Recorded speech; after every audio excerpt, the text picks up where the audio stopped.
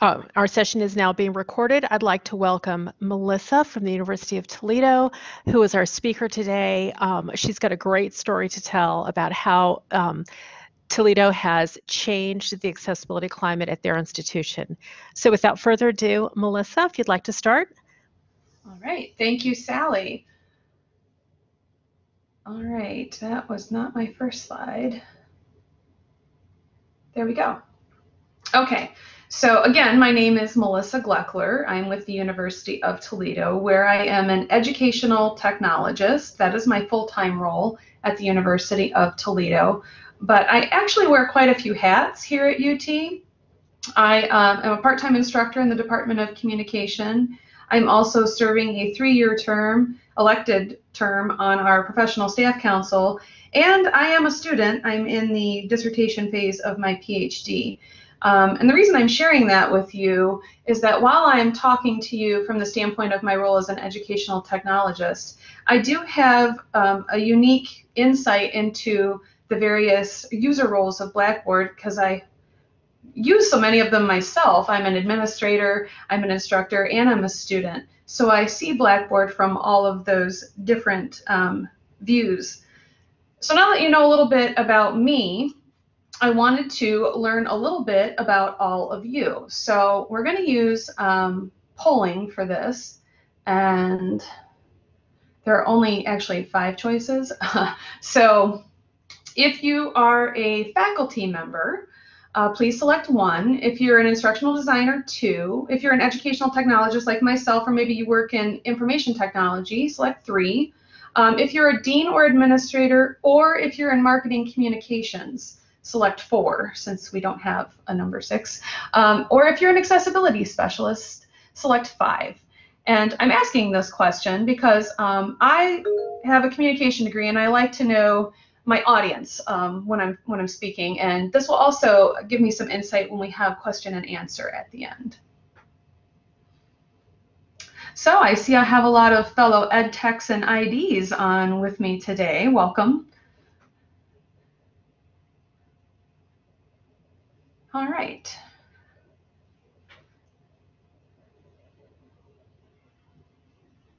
So we'll end that poll there. So thank you for participating in that poll. I might pop another one up. I want to keep you uh, keep you engaged throughout the presentation. Now, uh, one of the things um, that we talk about when it comes to accessibility um, is what makes a college campus accessible. And um, it, this slide should say what makes a college campus accessible. Um, so we usually think about the physical things uh, as far as accessibility on campus, such as wheelchair accessible parking spaces and bathroom stalls, curb cuts that we see on the sidewalks, levers on doors instead of doorknobs, and these are all very important pieces of campus accessibility. However, the digital accessibility of a campus is just as important as the physical accessibility of a campus, and it's the part that's hidden. And we know that many disabilities are hidden. 10% of Americans have an invisible or hidden disability, and these statistics come from the US Census Bureau and can be found on a variety of websites and sources um, dedicated to accessibility. Invisible disabilities are also the most common type among college students. And keep in mind that invisible disabilities, most of us think of learning disabilities, but they are not the only type of invisible disability. Um, not every disability is visible, and that can include physical disabilities. Um, not all disabling conditions are necessarily disclosed or registered with the Student Disabilities Office. Also important to keep in mind. So you might not always get um, a notification if you're teaching a class that you need to make your content accessible. And the other thing to keep in mind is in an online environment, all disabilities are invisible. I teach online myself, um, and I wouldn't know unless a student is registered with Student Disability Services and I get a notification, or if that student lets me know him or herself what accommodations they might need, if they have low vision, if they have um, some hearing loss, if they struggle to use a mouse if they're using screen readers. So let's use um, the example of, uh, let's see, let's use the example of blindness as um, a disability we want to look a little further into here. Blindness is not binary. It's not that somebody can see or can't see. There are levels in between, and that's true of any disability. So when we're creating accommodations, those are the kinds of things that we have to consider. And if we don't get a notification, there are still things we can do to make the content more accessible. So let's look at, um, for example, macular degeneration, early onset of macular degeneration. I put a filter on this um, particular slide so that you could see an example of early macular degeneration. You can still read that slide, right? Everybody can read that slide. So not everyone with vision issues is necessarily using a screen reader or braille. Uh, maybe they benefit from audio versions or just using high contrast so that they can view the content better. Um, maybe they use corrective lenses. Corrective lenses are an assistive device. Um, they might move the content within their sight lines, and alternative text is still important on all images. But unless you work in accessibility, you might not know about those things. So that's what building the culture is all about because various, um, there's another example of a vision issue where you can still see the content, but an audio version might be helpful, high contrast might be helpful. So when we talk about digital accessibility, think about what I just showed you and in comparison to the physical accessibility of your institution or organization, how would you rate your institution or organization's digital accessibility? So I'm going to open up the polling again. Um, bear with me. All right, so I'm going to start that poll. So if you'd say that uh, the, the digital accessibility of your campus is low, select one if you'd say you're probably in a reactive state, that you're compliant, but it's usually when you get those notifications that content needs to be re remediated, and that's pretty common, I'd say, probably from most campuses. They're probably at a medium. If you'd say that you're in a proactive state, that you're exceeding the minimum, um, select high, and anybody who selects four is invited to take over the webinar from here. I appreciate those honest responses. And I would honestly I see a lot of people selecting number two, um, the greatest proportion saying, eh, we're medium, we're, we're probably in a reactive state. And I would say that's um, where the University of Toledo was as well, um, with some proactive measures in place. So I'll talk about that a little bit for all of you here. But we're looking to move this needle up at the University of Toledo. And I'm going to share with you how um, some of our act activities as well as the implementation of Ally helped us do that. And um, I'm mentioning Ally now because the gauges that you're seeing on your screen are directly from Ally, so that's a little foreshadowing for all of you. So the University of Toledo is a traditional institution. We are a state public institution. We sit on a 982 acre main campus. We also have a health science campus with a hospital. We have over 22,000 students in undergraduate as well as graduate programs that include not only PhD but MD programs, PharmD programs, and we have a College of Law. We are a public research institution. Of our 22,000 students, about 36% of them engage in some form of online courses. So we don't necessarily have students who are either online or on campus.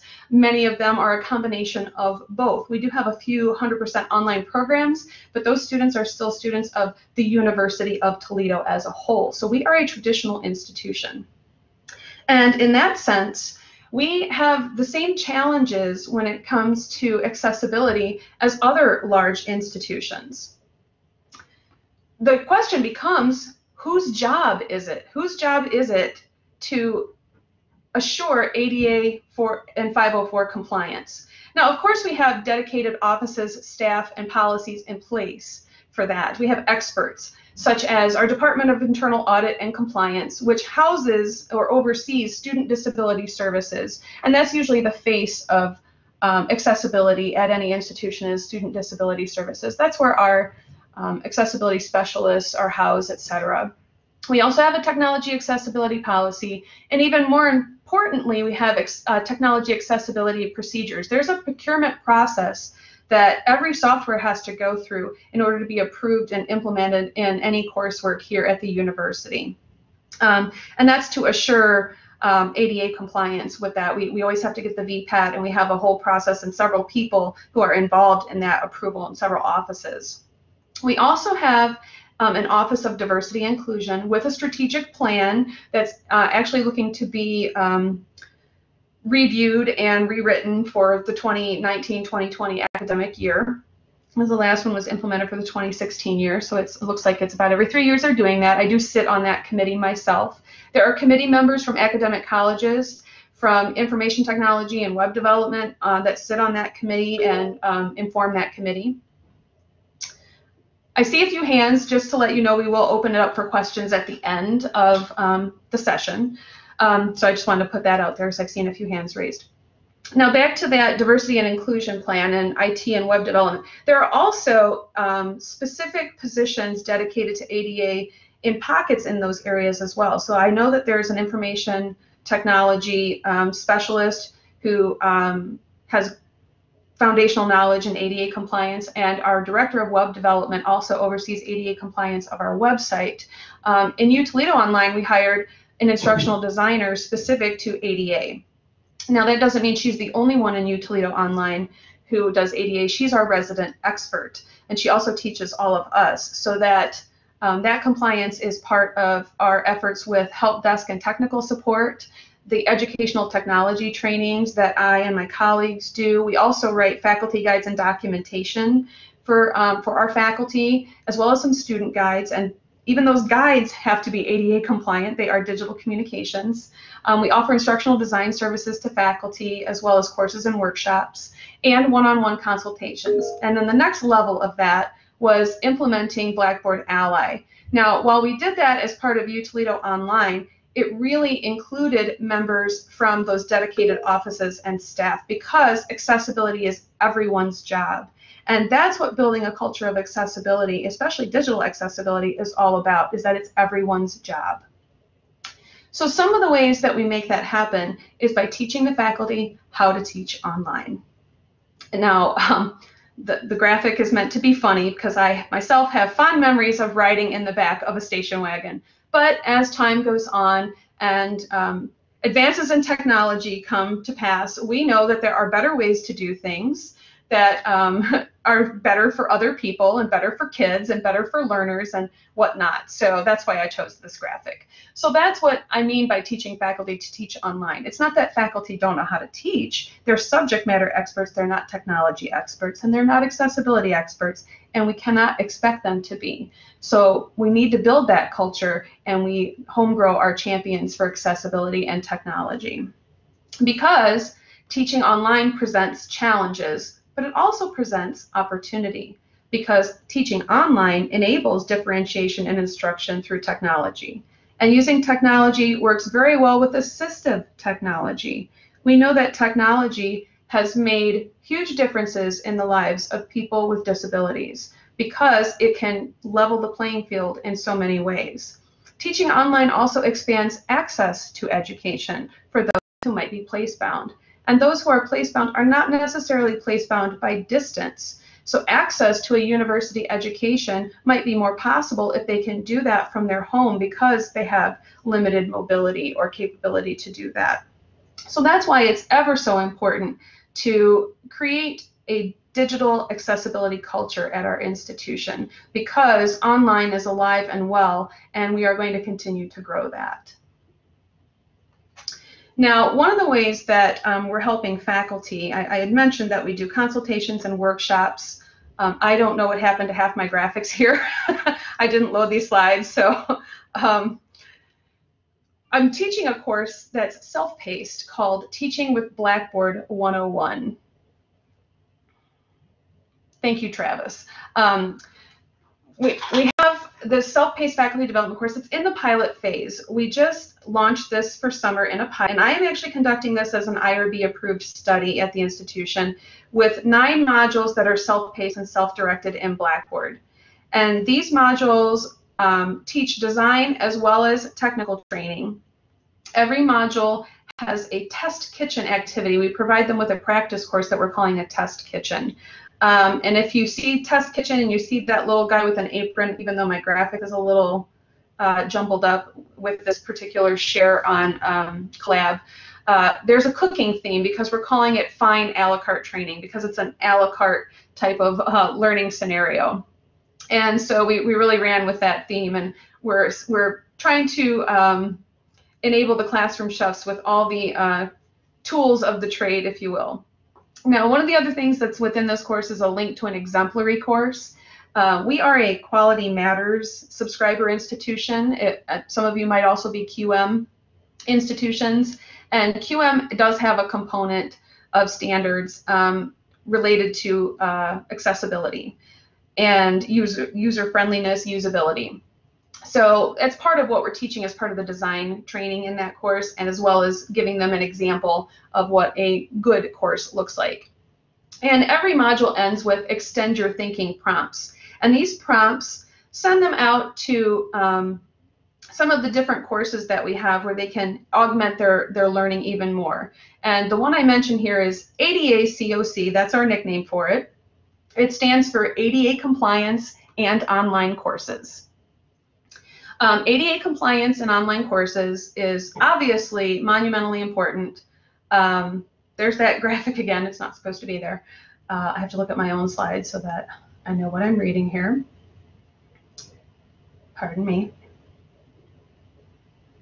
So this is a five-week online faculty development course that is facilitated by our ADA instructional designer in UT Online. She is our expert. It is one of five courses in what we call our Master Online Instructor Pathway program. This is how we develop a culture of accessibility is by teaching faculty how to do this. Um, I've taken this course. It is fantastic. I will say when I came to this institution, I probably didn't know much. This was 12 years ago. I didn't know much about creating accessible content.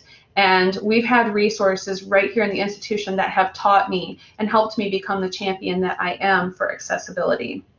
This course gave us a review of the legislation and the Web Content Assurance Guidelines with hands-on practical application um, to remediate content as well as um, use some principles of Universal Design for Learning. That's what UDL stands for. Because part of that culture building is um, explaining how it's much easier to design a course to be accessible from the beginning rather than to go back and remediate it when you get that notification from Student Disability Services. Um, but the question becomes, how do you know that your content is accessible? You don't interact with it the same way that somebody with a disability might. So how do you know that your content is accessible? And that's where Blackboard Ally is bridging that gap for us. Um, next slide, there we go.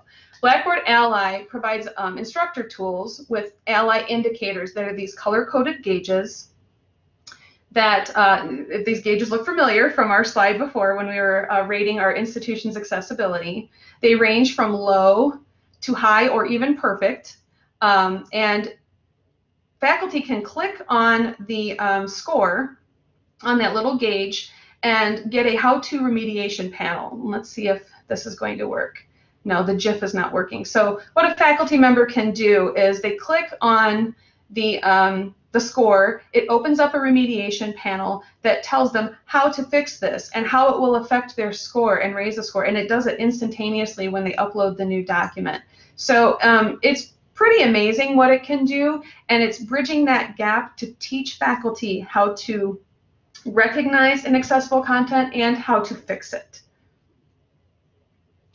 So when we brought Blackboard Ally to campus, we had to think critically about all the stakeholders involved.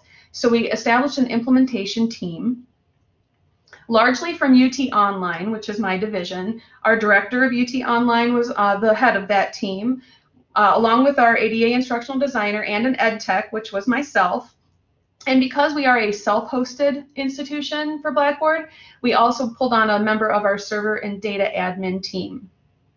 We also had uh, members from Student Disability Services, including the Director of Student Disability Services, and that director was part of the purchase of Ally. She, she went to the Provost's office along with her boss, the Director of Internal Audit and Compliance, to get the approval to purchase Blackboard Ally for our institution. And we also brought on an academic accommodation specialist as well as a senior analyst from IT to that team. Now, once we purchased Ally with support from both the provost and the compliance offices, we um, put it onto our dev server so that we could do some testing. And that's when we established the Ally team. So some of the members of the Ally team were on board from the um, beginning with the purchase. That would include uh, the director of UT Online, the director of Student Disability Services, our ADA designer, and the director of Internal Audit and Compliance. And then the rest of us were pulled onto the team once Ally was purchased, and we knew that we were going to be piloting, piloting it in summer of 2018. We piloted with a small group of voluntary faculty. We put the, the call out to faculty we work with often. We had about 10 faculty members who agreed to try it out in their courses for summer. Over the summer, we also had a two-day uh, visit from a Blackboard representative to establish our goals and our timeline, as well as a two-day Blackboard Train the Trainer web workshop. Now, this was wonderfully helpful to us. So if you're an institution that's thinking about getting Blackboard Ally, uh, I have to give a shout out and be complimentary to Blackboard and all that they did to help us get ready and smoothly roll out um, Blackboard Ally because change is hard for everybody. And uh, we were concerned at how faculty might receive it because faculty do a wonderful job here and we want to give them more tools. So um, they really helped us establish what's the best way to implement this and roll it out to faculty. And one of the suggestions that we took and we did, we, we introduced Ally through the leadership of our faculty senate. Um, that was the soft introduction, followed by the introductory welcome email for the semester. That Ally was enabled in all of their courses for fall of 2018, and we put a link to the guides, which I spent the summer writing. I actually wrote up our ScreenSteps guides, and um, I wrote a guide for students, and I wrote a guide for faculty, because of course those user views are different.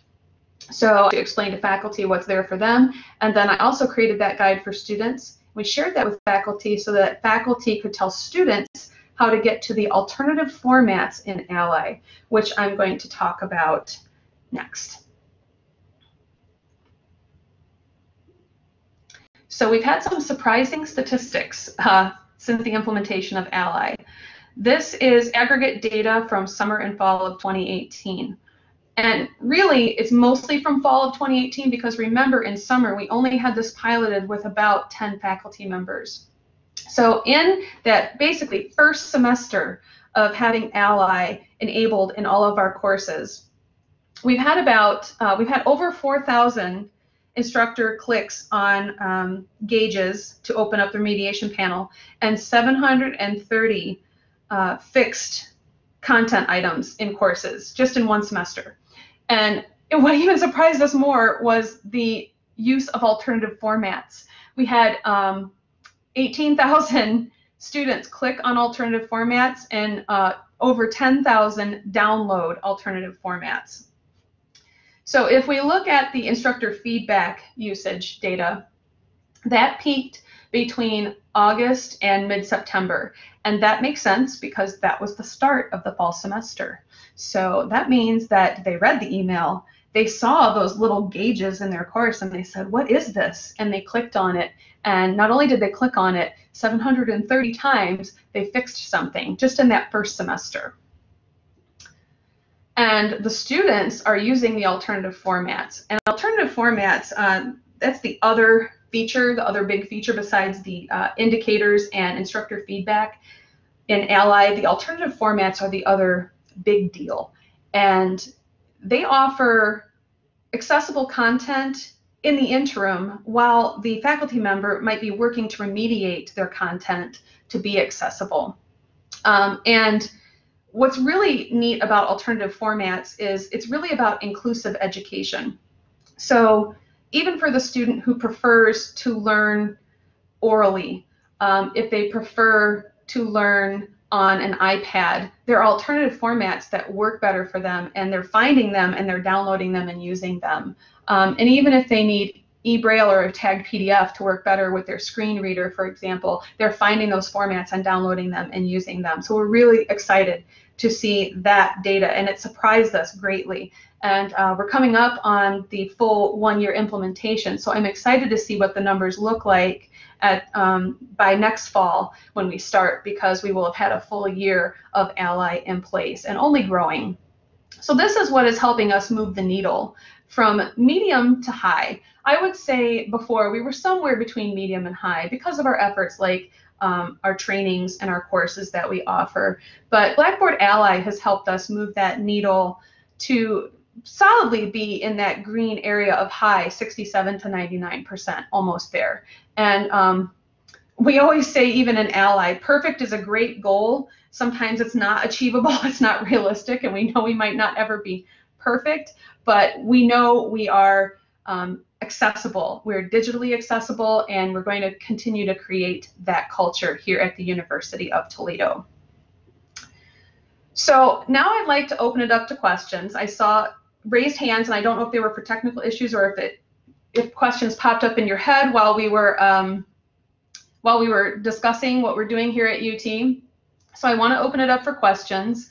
Um, also, if you want to know more about what we do in UToledo online, I've put our website there, www.utoledo.edu slash DL. And if you'd like to see our ADA 504 compliance policy and the technology policies that I mentioned, uh, you can find those at our um, Office of Internal Audit. The website is www.utoledo.edu slash office slash internal audit. All right, so um, to open it up for questions, and I might need you to weigh in here, Sally. What is, ah, I see questions okay. coming up. There we go. There's one question. yeah, so the question, the chat functionality is now open. You will not have audio. You It is just chat. So if you could um, take a minute to enter your questions into the chat, and then Melissa and I will go through those and, and respond as um, as many as we can. in Wonderful. the time remaining. Thank you. Okay. So um, I saw the first question, and I love this question it's from Stephanie. Have you had pushback from instructors regarding the implementation of Ally? If so, how did you address that? That's a great question, and uh, we were totally anticipating that, and, and we haven't had any.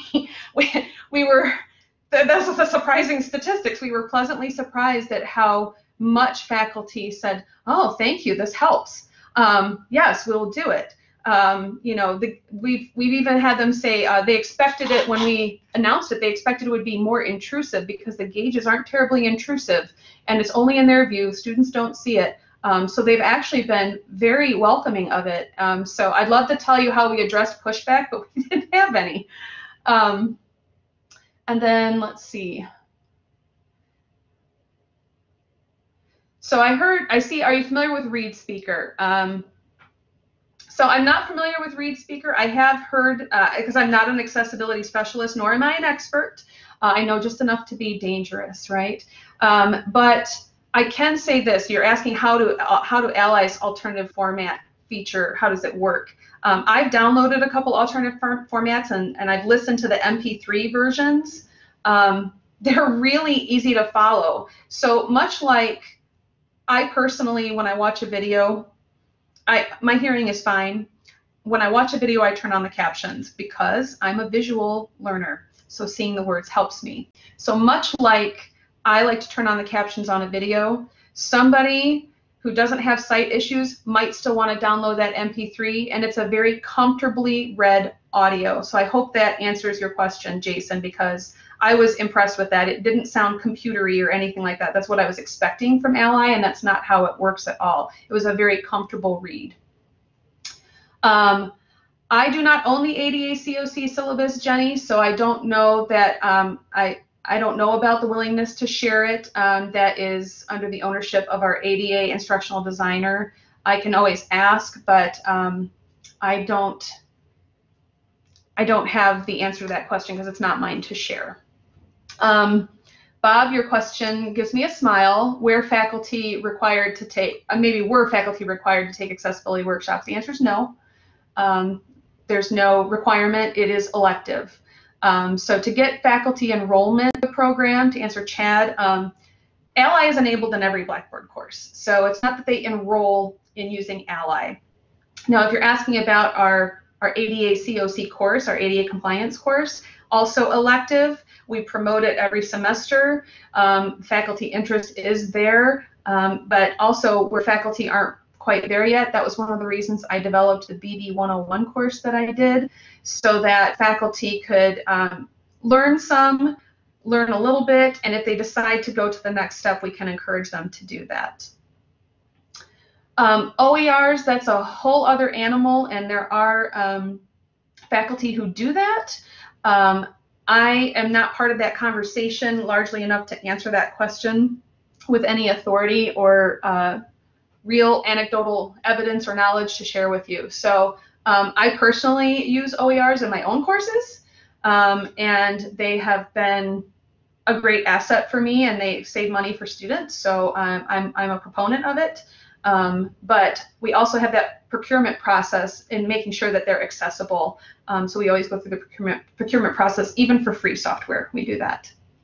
Um, faculty do not get a stipend for attending the workshops. It is considered uh, free faculty development for them, um, although I don't hate that idea because uh, whatever we can do to get them to come, I'm a fan of that. And okay, Lisa, I'm glad to see I have librarians on the survey. Um, it, it, wasn't a choice on my survey. I didn't even have enough. I, I, was only allowed five choices, and I had six as it was. So I'm I'm very sorry for leaving you out, but I'm glad you're here. Um, librarians are some of my favorite people. I work very closely with some of our librarians here at the University of Toledo as well. Um, I don't know if I can share our guides for faculty and students. Um, I'd have to ask my supervisor about that. Um, ah, screen readers and the expense there. So yeah, that is um, it is prohibitively expensive. Accessibility is expensive. We've found in many ways.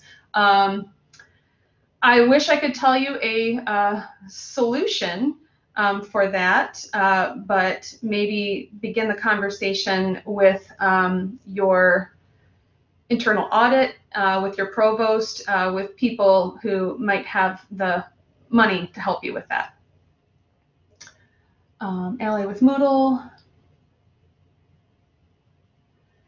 Okay, so I we have not experienced a problem with docs never showing the Ally gauge as far as I know, or the alt format icon. Um, we haven't experienced that here at the University of Toledo. If anybody else can weigh in on Larry's question, um, he's using Ally with Moodle. We use Ally with Blackboard.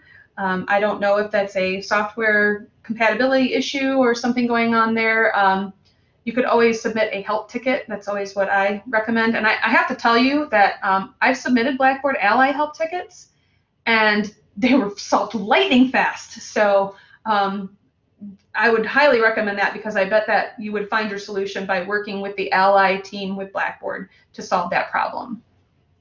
And yes, Stacy, it's my understanding this will be available later as a recording. Um, thank you for letting me know about the second link for documents. It, uh, Chris, it does work in my version. Sally uploaded the slides, and some of my slides uh, were corrupted in that upload that I saw. There were some um, interesting things there.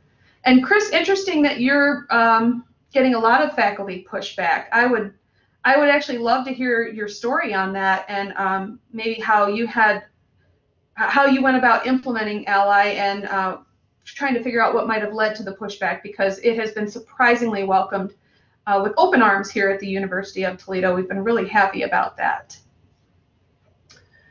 Um, notable system latency downtime in first initializing Ally. Uh, no, we did not have that um, issue. One of the things I do uh, when I do a workshop with a faculty member to teach them about Ally and what to expect, um, and I even put it in our ScreenSteps guides that I wrote, um, is that when they upload an item into their course, not to expect the gauge immediately, that it does take time to render. The computer has to read it. It is a computer generated score. The alternative formats are computer generated, so depending on the size of the file, um, it might take a little longer for that indicator to pop up. Um, that is about the only lag or downtime that I might note. But as far as initializing, implementing Um, we didn't seem to have any issues that I know of. Uh, when we discussed it on my Ally team, we had that member of server data administration who is the one who helped implement everything and um, have it up and running in our courses, and uh, there were no issues. It was pretty seamless. Um,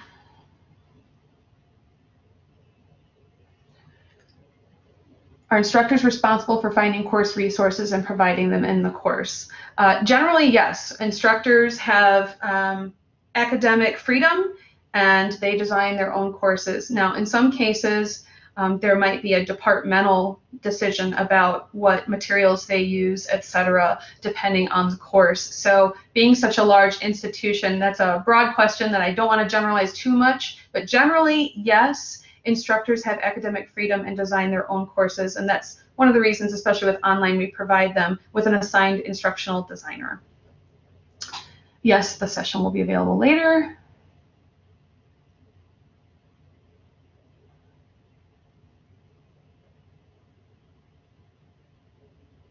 Let's see, I'm going through questions, bear with me. Yes, we have top-down administrative support, and that was uh, by design. We purposely sought that before we even purchased Ally, and we made sure to involve faculty as we uh, rolled it out when we did the pilot, when we went to Faculty Senate. Uh, we knew that was very important for faculty acceptance.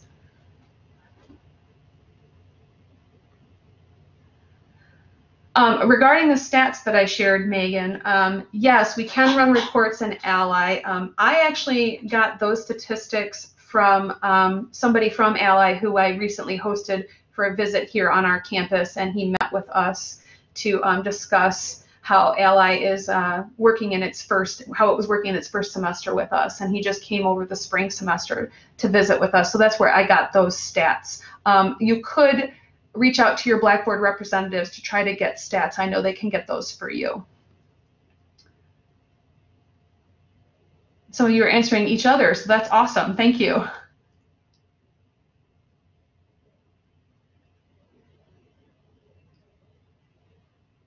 Yes, Sally, there were some wonky things. I just saw your comment. Yes, there were some wonky things that happened.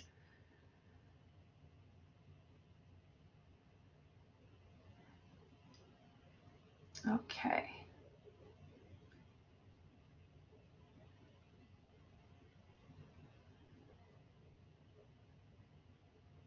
Bob, I'm not sure when you say what tools do you use for closed captioning, if you mean at the University of Toledo or if you meant for this particular session. Um, I would have to defer that question to our Office of Student Disability Services. I'm an ed tech. I am not an accessibility specialist, so I don't close caption videos.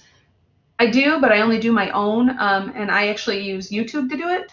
And um, also for videos, uh, when we use, we have uh, we're, we have Echo 360 here at the University of Toledo, and um, Echo 360 has new uh, auto speech rec recognition software built into it. So uh, we're just starting to pilot that. Um, but for now, uh, most of the time when something needs to be closed captioned from a faculty member, it goes to Student Disability Services to be done.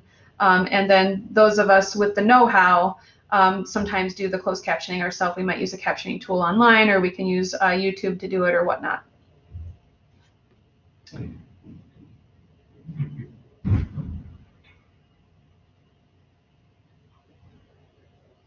Recommend for making performance videos accessible. You know, Ken, um, and then you know the things like that are tough, and I, I understand your, where you're coming from about making performance videos accessible and teaching online music courses. Um, because I teach visual communication myself, so um, and I'm still going to build accessibility into everything that I do in my course. Um, what I might recommend is uh, have have a discussion with somebody from your student disability services office, office of accessibility, whatever you might call it at your institution, um, because they probably have really good suggestions for you that are even beyond my own creativity or knowledge because um, they're experts. So defer to your experts, find your institutional experts, and thank you for being a champion um, because that's that's how we build that culture.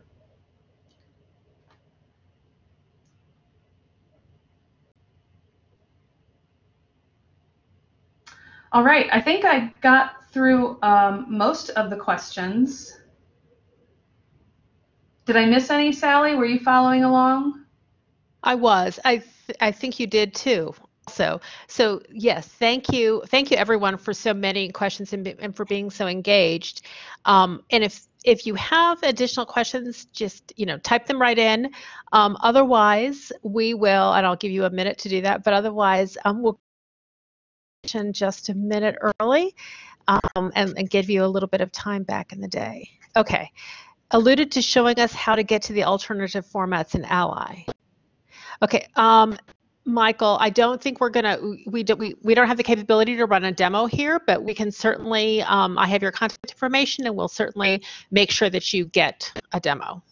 Thank you, Sally. Because um, I was going to say one of the things that I had in my original PowerPoint um, was uh, the image of the Blackboard Ally in Action slide, and um, that was actually a GIF, not a static image, where you clicked on the indicator, it opened up the access panel that showed the faculty member um, you know, options to click on what does this mean and how do I fix this and links to guides and step-by-step instructions that are there. Um, again, some of those slides got corrupted with import into Collab and that's, you know, technology not talking to each other and this is why I have a job. I call it job security. this is why technologists like myself exist, I suppose. So Exactly, exactly. And it's really the alternative formats for the students is very intuitive when they're in their um, and there's an assignment that says, you know, read this, there is a drop down menu where they can um, get access to those alternate formats. So she was mentioning earlier, if you're an audio, um, you know, you prefer to listen to lessons, or perhaps you're a student who's commuting, um, whether or not you have any visual disabilities, you may just want to listen to the audio format, and it is available right from the drop down. And yes, Michael, I saw what you said about loading a GIF from a PowerPoint slide. Um, so I did not load my slides in. Uh, they came in from Sally's side. So that's just a little technology hiccup. But again, it keeps me employed, so I'm not complaining. yeah, I apologize again. Um, I unfortunately we have quite a few events happening today on Global Accessibility Awareness Day, and I just didn't have as much time to trial everything out as I would have liked.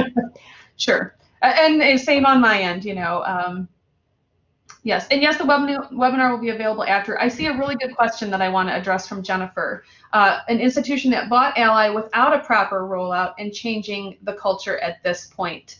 Um, get with your higher ups and get in front of your faculty senate. Um, you know, get that buy-in from a top down, from whom the faculty uh, feel are their peers. That's where you're probably going to have the most success um, because I would say that's where we had our success because the academic provost was on board with it and we went to leadership of faculty senate first and then they had us come present at a faculty senate meeting to all the faculty before they got that email that says surprise we're now an ally institution um, so they were expecting it and they knew why we did it and they knew that um, their bosses were uh, pro- proponents of it. So, um, you know, uh, pushback might happen, but if you have that top down, I think that's been key to the buy in.